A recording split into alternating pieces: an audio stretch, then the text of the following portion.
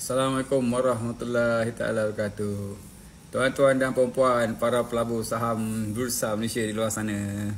So uh, hari ini uh, 29 dari bulan Februari, uh, FY nak sharekan tentang apa nama kajian FY lah, kajian tim FY di Kenanga ni.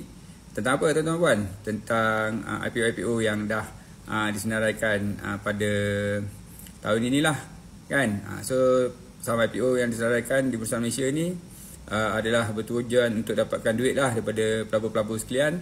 Bagi tujuan untuk memajukan syarikat ke depan kan? So syarikat-syarikat dia orang uh, keluarkan saham tempatan awam supaya uh, dapat duit lah daripada tuan-tuan dan perempuan uh, untuk mereka membesarkan syarikat. Sama ada untuk gunakan beli aset ataupun untuk bayar hutang ataupun uh, untuk tujuan-tujuan yang lainnya lah eh. uh, itu cerita dia.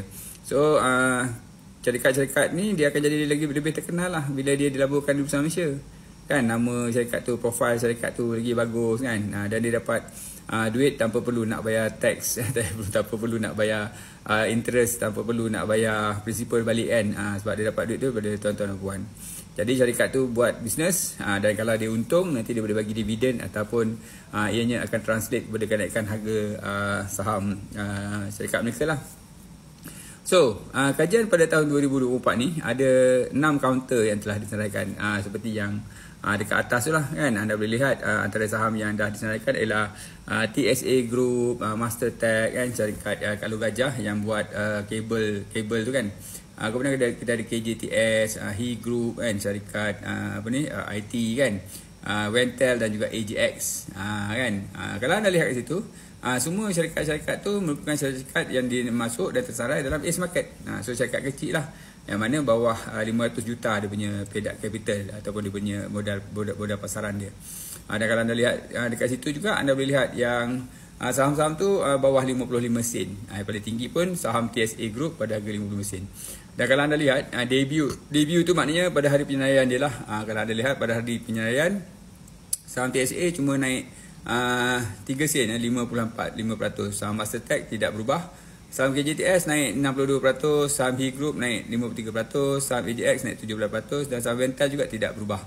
Ha, kan? Ha, tapi kalau anda lihat ha, pada hari ini ha, bila kita tengok ha, dekat apa quotation ha, saham ha, ini kita dapati yang empat daripada saham tu ha, naik kan, dan naik lagi tinggi pada harga ha, IPO dia masa hari pertama dia disenaraikan. Kan? Ha, kat tepi tu FI juga ada tak subscription rate dia maksudnya terlebih daganan dia masa saham IPO tu dikeluarkan. Dan kalau anda lihat uh, dia tidak apa memberi alhamdulillah uh, kata putus lah aku tak? Sure kan? Sama ada dia besar atau kecil uh, dia tak ada impact yang banyak lah kan? Uh, tapi uh, kita tahulah kalau subscription dia uh, 63 kali tu seperti contoh saham He Group tu kan? Maknanya saham tu uh, bagus lah kot kan? Bagus lah kan? Uh, tapi kalau walaupun begitu kalau anda lihat uh, dah sebulan dia turun pula kan? Uh, mungkin pasal uh, saham tu dah naik tinggi lah pada hari penyelesaian dia.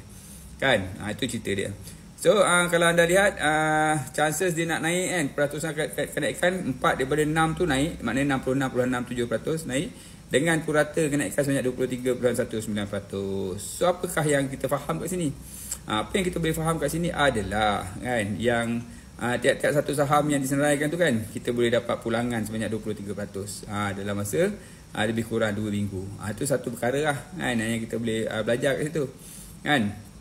Yang kita boleh belajar itu ialah uh, apa nama uh, saham tu boleh naik 23%. Maknanya kalau kita dapat uh, 5 5 saham kan uh, dah 100% lah. Uh, itu adalah kelebihan melabur saham IPO ni.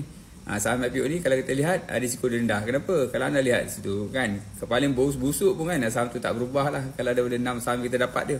Mana-mana saham kita dapat tu 6 tu kalau yang apa kalau apa nama? Uh, dapat saham tu uh, dia paling tidak pun buat buat pulangan kosong lah kalau hari penyelesaian dia.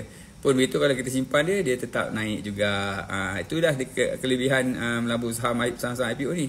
Uh, perkara kedua yang kita boleh tengok juga apa tuan-tuan puan kita juga boleh nampak uh, apa nama?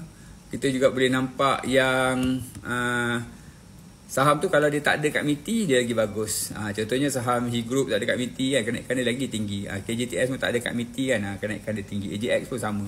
Ha, dia tak ada kat MITI. Ha, yang lain tu ada kat MITI dia slow sikit lah kan. Ha, so ha, dalam hal ni kita kena tahulah sama ada saham tu ada kat MITI atau tak ada kat MITI.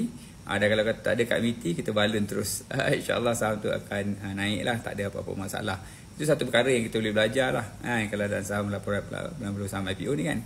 Ha, kemudian ha, untuk yang bulan Februari dan Mac ni ha, ada banyak saham yang akan disenaraikan. Yang mana kalau kita dapat pulangan yang macam ni kan uh, 23% kan siapa nak bagi betul tak? Kan dalam masa 2 minggu 2 minggu. Kan ha, kalau kita fikir balik kan ha, letak ke SB ke kat tabung haji ke tak dapat uh, pulangan yang banyak tu kan so saham-saham yang akan ada lagi. Eh, tahun ni ada lebih kurang 40 saham eh, IPO yang akan disenaraikan banyak. Ia menunjukkan yang uh, Malaysia ni pesat berkembang lah dengan syarikat-syarikat yang uh, baru dan syarikat yang apa yang akan disenaraikan di bursa.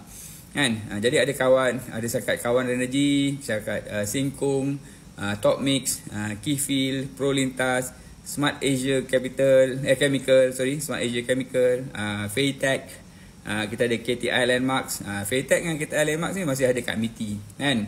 Uh, boleh apply lah kat MITI uh, untuk pelabu-pelabu mitra uh, dan uh, Alpha IVF kan? Uh, Alpha IVF ni akan dibuka untuk penggunaan awam pada 1 bulan Mac ini. Uh, so tuan-tuan kalau anda nak belajar macam mana apa dia nak melabur IPO secara menyeluruh ha, cari FY ha, datang kelas FY datang seminar FY datanglah ke ha, pejabat FY dinilai kan? Ha, kat sini kita boleh bincang-bincang ha, tentang pelaburan-pelaburan ha, apa pelaburan-pelaburan ha, saham di Bursa Malaysia. Yalah daripada kita masukkan duit kita kat tempat-tempat yang tak tentu arah kan yang boleh membuatkan kita rugi baiklah kita masuk dekat bursa saham kan yang mana dalam masa 3 hari kata kerja saham tu confirm duit dapat balik kan. Ha, itu cerita dia. Ha, sebab kali ni ha, scammer ramai kan. Orang yang ambil duit kita ramai tapi nak pulang balik payah kan. Ha, itulah masalah dia kan. Jadi kena hati-hati lah eh. so menabur saham adalah salah satu uh, apa ni uh, yang terbaik lah. Uh, alternatif yang terbaik. Uh, cumanya kena kena ada ilmu lah mengenainya. Kan? Uh, kalau tak ada ilmu tak apa. Uh, follow je FYI dekat TikTok ni. Follow FYI dekat apa nama?